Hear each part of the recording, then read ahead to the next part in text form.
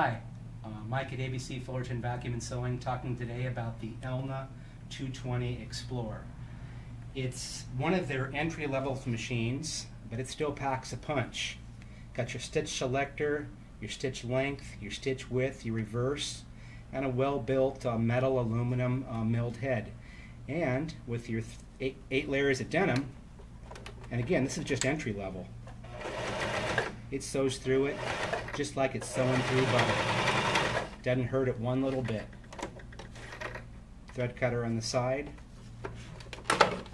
Front load bobbin. Drop off feet. Free arm. Nice machine at a very reasonable price. Come on in and sew on it.